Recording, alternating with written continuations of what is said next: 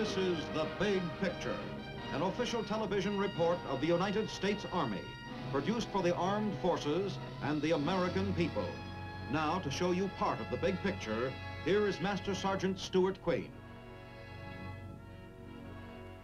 For the soldiers of USAREUR, the United States Army in Europe, life is varied and interesting. It includes aspects that are thoroughly American in character, such as the sports contests in which Americans engage wherever they are. It includes characteristics far removed from the American scene, belonging instead to the romantic backdrop of old world surroundings.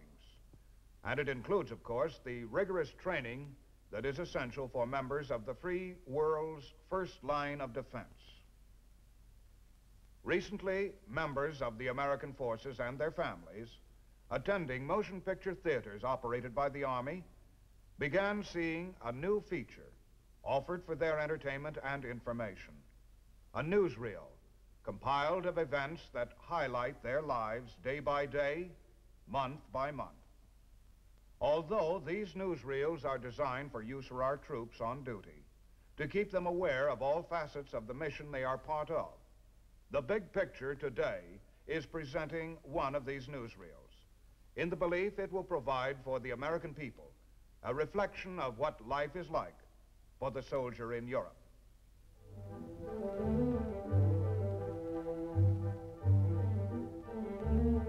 At the United States Army Sullivan Barracks, big doings are slated for today. Lieutenant Colonel Mike Green, 510th Tank Battalion CO, will swear in a number of soldiers. Among them, a rather fat young sergeant.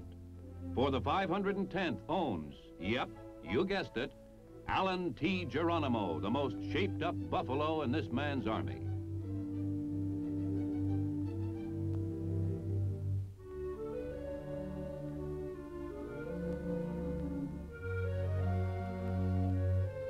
Sergeant Geronimo prepares for inspection too, just like the rest of us. He even acts like a sergeant. And speaking of dog, uh, pardon me, buffalo tags, that's the large economy size for sure.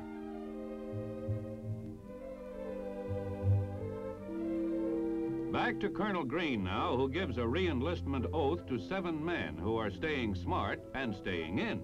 Men of all creeds, races, and religions. And one American buffalo, a native old-time American. Then off to the snack bar for a little bite of that re-enlistment bonus. And as they say, uh, that ain't hay, or is it?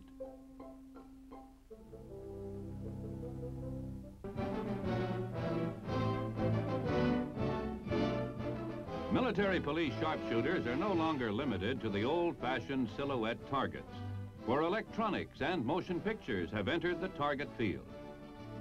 The new motion picture target is backed by a bank of fluorescent lights which eliminate the bullet holes as they are made in a moving white paper strip. As the shooter fires, his hits are registered on the projected image as the projector and the paper strip automatically stop each time it gets a hit.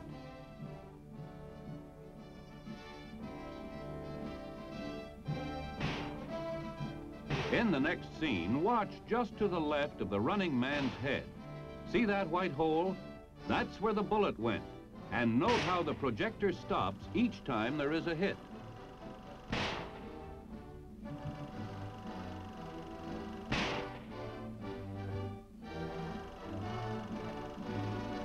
This system teaches an MP when and when not to shoot. A valuable training aid for all law enforcement agencies.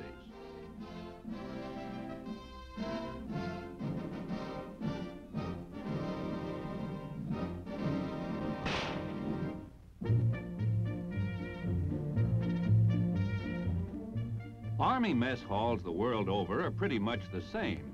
You see soldiers and waitresses and food trays with food on them, and soldiers like PFC Reese Henshaw, who doesn't like their food and asks for another tray. But when the waitress returns, what does she have? But a tray of old light bulbs and razor blades. In fact, there he goes. But it tastes a little flat, so let's add some salt.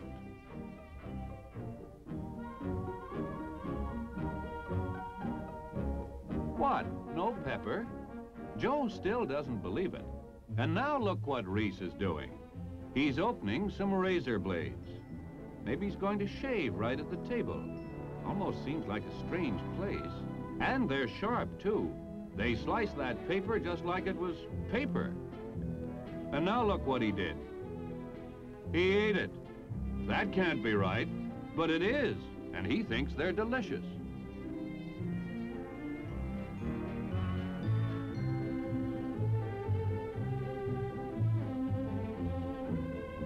Now Joe starts searching for a light for that cigar. And of course, he can't find one. So he turns to our old glass-eating friend for assistance, who just happens to have a torch handy under the table.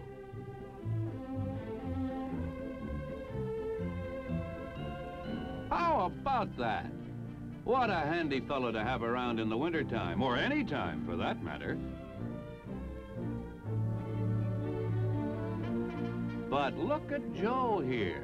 He still doesn't believe it.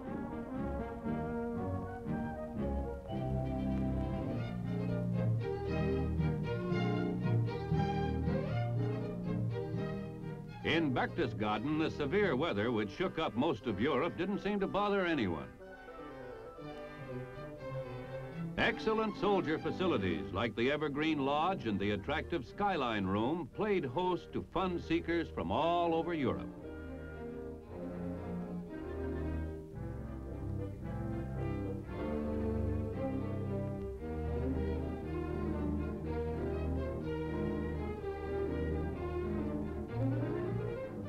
No time is wasted in getting into sports clothes.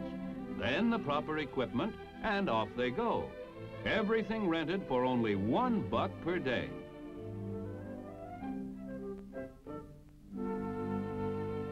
The Skytop Lodge is up in the ski country.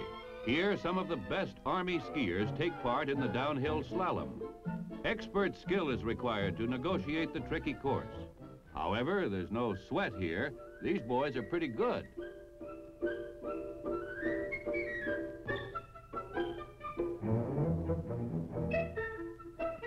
Well, most of them. Well, as we were saying, these boys are experts and they put on a real exhibition.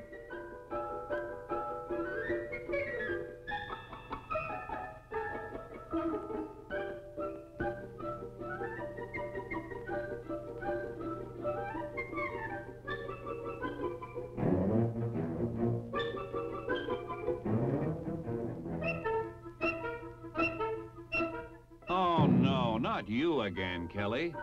A couple of yardsticks on your feet and you can throw away the gas coupons. Boy, this is living.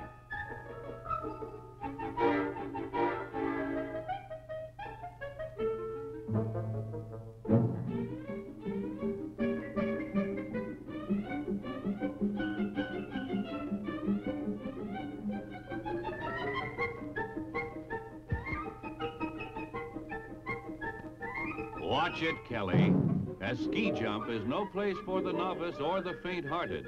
And those four-point landings hurt a little, both on your score and your... Oh, well, skip it.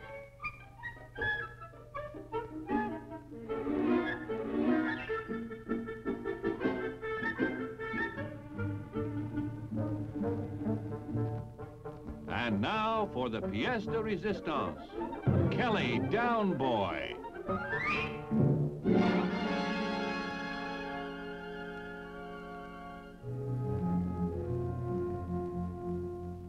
Brigadier General Wesley T. Getz, USAREUR signal officer, had the answer when Deutscher Post officials at Pottling, Germany called for help after excessive rains and floodwaters disrupted their wire communication lines.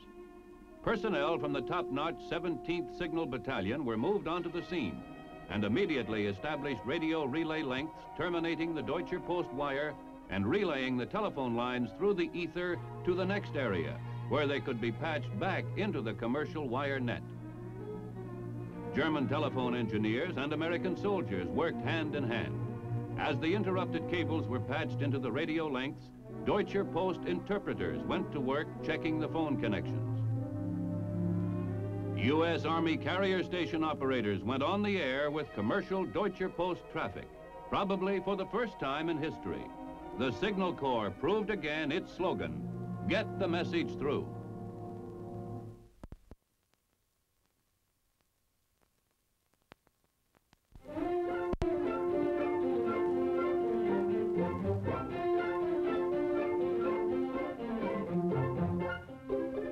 Near Eagle's Nest at Berchtesgaden, Germany, a young ski enthusiast proves that chivalry isn't dead. These small fry are all entered in a children's race. They ride the ski lift just like professionals. Number 11 seems to be a bit weak-kneed, though.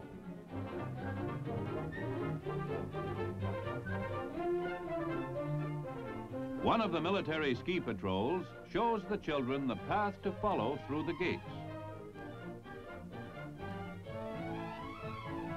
Then it's the youthful skier's turn as the fun begins.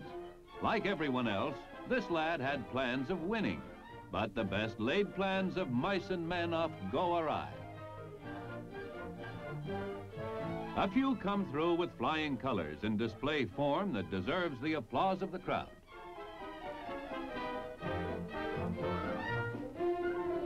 They just don't make flags as well as they used to.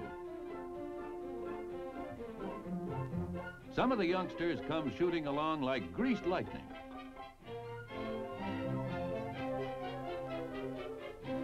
But Johnny seems to find it easier to walk across the finish line.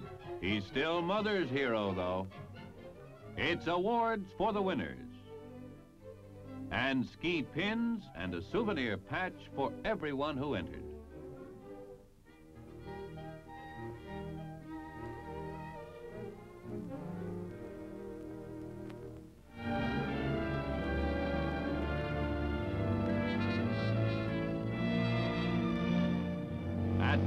Mannheim, Germany, an event emotionally as powerful as the story of Bell for Adano came true recently. In 1942, the bells of the Christ Church were removed from the steeple and turned over to the German government for furthering the war effort. Today, five new bells are on their way back to the long vacant church belfry. The equipment used belongs to the 77th Engineer Battalion, who volunteered to transport the huge bells from the foundry to Mannheim.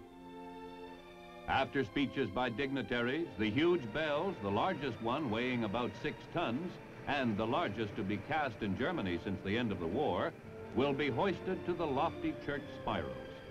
Army personnel and German civilians work hand in hand in this project, which carries a great deal of religious significance. It's a day of celebration for the congregation of the Christ Church, as churchgoers pour from their homes called by the mighty peal of the five giant bells. Once again, the bells of the church at Mannheim sound forth their message, a message meaning something a little different to everyone who heeds their call. And so the saga ends as the 77th Engineer Battalion brings five of the largest bells cast in post-war Germany to their final resting place, high in the beautiful belfry of Christ Church.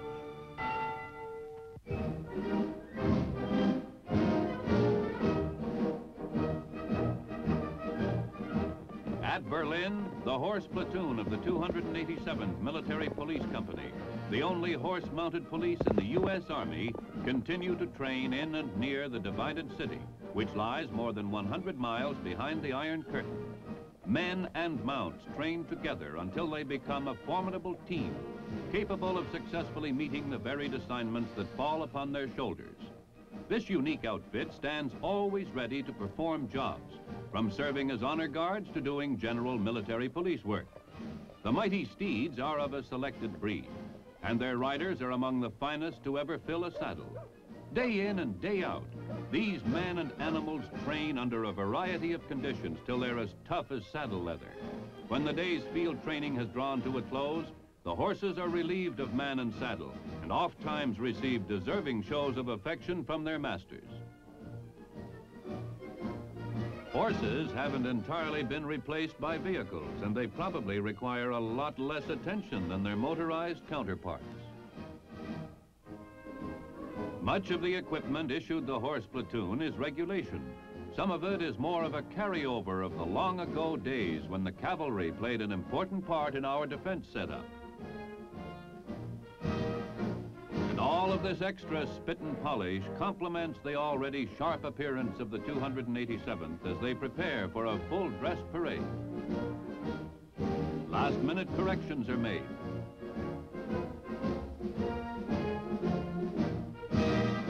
And the members of the 287th move out with a proud walk on their way to strut their stuff in front of three visiting high-ranking general officers. Army Chief of Staff General Maxwell Taylor casts an approving eye over the platoon. Generals Taylor, Dasher, and Harris review the only horse-mounted police platoon in the U.S. Army, a part of the unique 287th MP Company. Mounted Police, a carryover of the days of Custer, still a part of today's modern Army.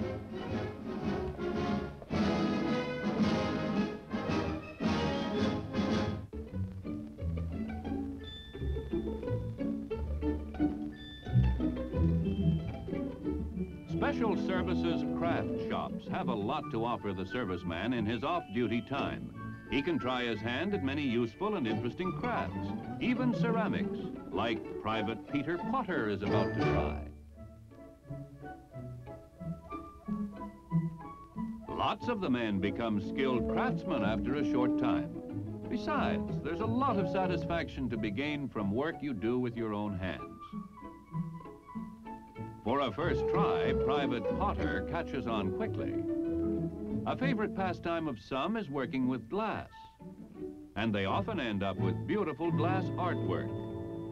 Here we start with an ordinary wine bottle, filled to desired height with medium weight oil. Submerge a red hot iron and presto! The bottle severs at the desired level.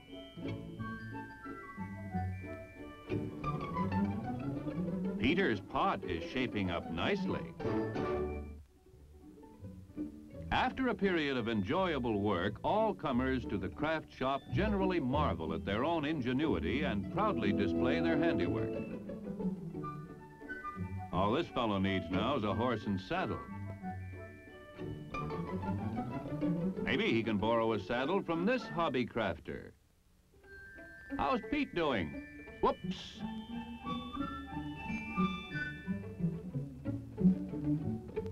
Could have looked like this.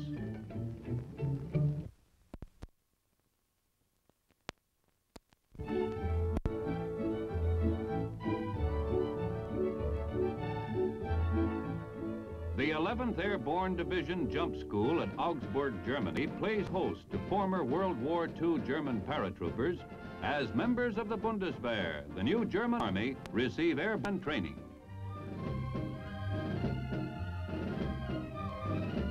The 34-foot tower provides quite a challenge to both the German and American trainees who undergo the training at the same time. These Bundeswehr members will form the hard core for the first German airborne unit, which will soon become a reality. A machine is cranked up that creates man-made wind. When the trainee is released, he gets a chance to fight with his unruly chute.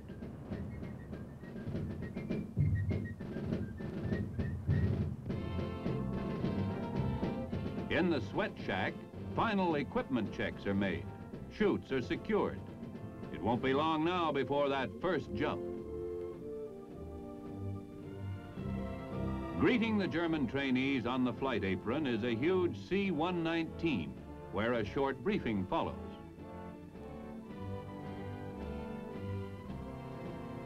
Then it's all aboard and off on a mission where that first step is the longest.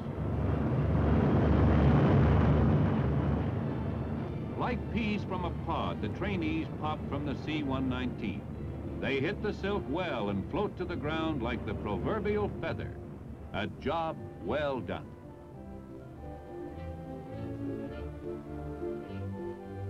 Brigadier General Stillwell, 11th Airborne Assistant Division CG, and Brigadier General Fomagratten of the German Army congratulate the Bundeswehr's 1st Airborne Cadre.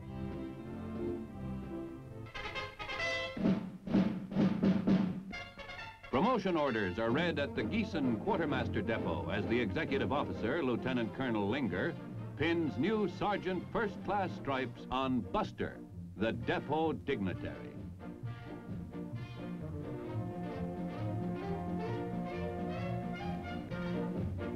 Buster already had the reputation of a VID, very important dog. But he holds his head even higher now when coming into the mess hall with his buddies.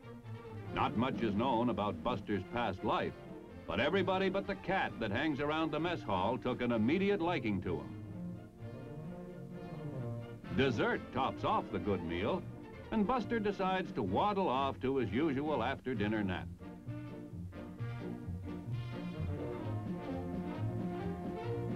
Doggone it, this life isn't bad at all.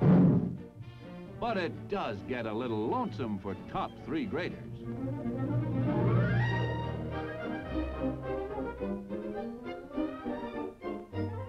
Such lofty ski slopes as Skytop, Evergreen, and Jenner lure thousands of fun-loving U.S. servicemen and their families to the Berchtesgaden Recreation Area, a gigantic playground for strenuous winter sports or just plain loafing. The ski tows are kept humming as amateur and professional alike venture high into the rare alpine reaches. Persons of all ages take advantage of Army-run recreation areas. Well, there's more ways than one to navigate a slope. To protect the large number of skiers, the U.S. Army conducts a ski patrol school. Members of the patrol are chosen from all over Europe and England. First aid, an extremely important facet of the ski school's training, is taught in accord with Red Cross doctrine. All members of the patrol become experts at emergency medical care. When the four days of classroom instruction are over, the men are issued their full equipment. The patrolmen receive training at Berchtesgaden, but serve wherever Americans ski. Ski Patrol members are already proficient skiers before entering the school.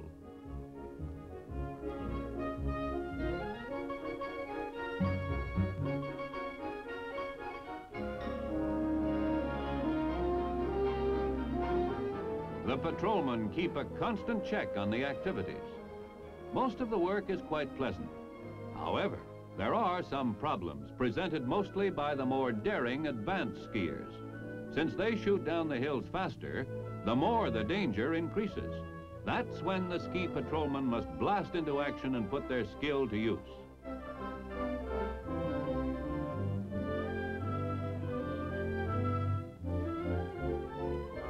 Within seconds, an Akja, a German-designed rescue sled, is on its way toward the injured man. First aid treatment is applied immediately. Two men are able to expertly guide the Akja over any terrain or downhill slope.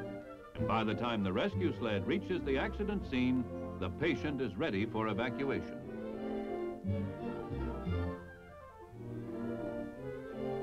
Patrolman, Akja, and patient whisk off on the way to medical facilities as the U.S. Army Ski Patrol, drawing on their ski school training, ensure the protection of each and every skier. The patrol is just one of the services of U.S. Army recreation areas. And so another chapter is added to the annals of the U.S. Army Ski Patrol.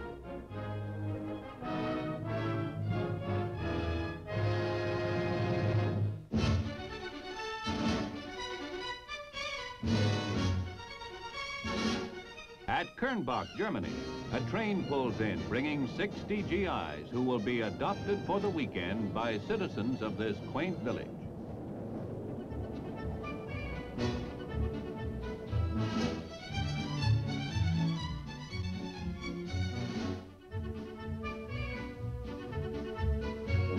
The Kinder are regaled in typical Black Forest dress, and the American soldiers are even greeted by the Kirnbach Band.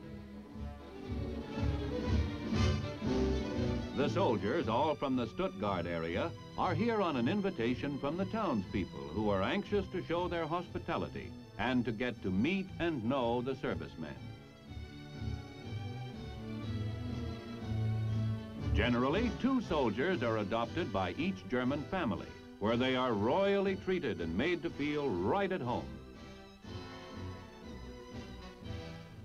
Home cooking really hits the spot with the men.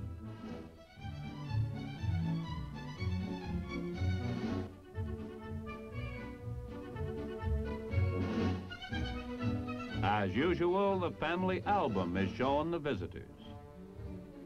Some of the men like to help with the family chores.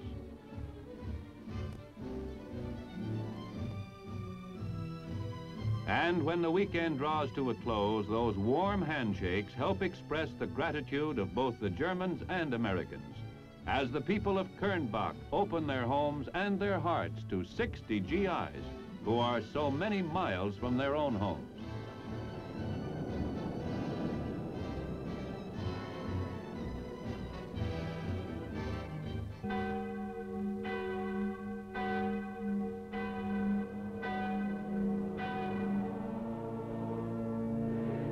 During the crisp, quiet early hours of the morning, a united German-American Easter sunrise service is held atop Holy Mountain in Heidelberg. The faithful German and American worshippers come to pay homage on this glorious holy day.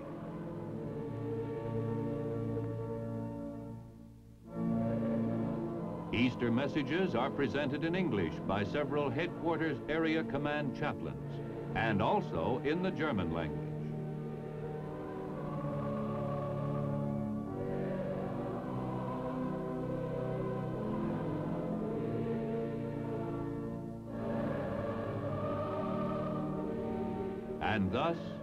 Peoples of two nations humbly worship one mighty force together at Easter sunrise service. Easter festivities of another sort are going on too. For most American youngsters in Europe, Easter Sunday symbolizes the day of the Easter Bunny and the egg hunts. A sneaky hen couldn't hide those eggs any better. The hunters await the hunting call. They're off.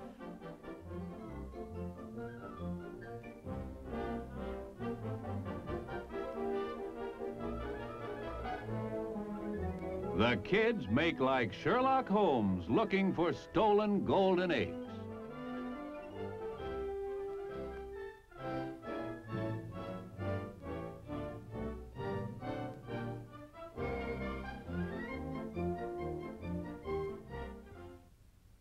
Well, there you have a glimpse into those events and situations, some of them significant, some light and amusing, which make up life for our troops in USAREUR, the United States Army in Europe, as they are recorded for the newsreel by Army Signal Corps cameramen. Now this is Sergeant Stuart Queen, your host for The Big Picture. The Big Picture is an official television report for the armed forces and the American people. Produced by the Army Pictorial Center. Presented by the United States Army in cooperation with this station.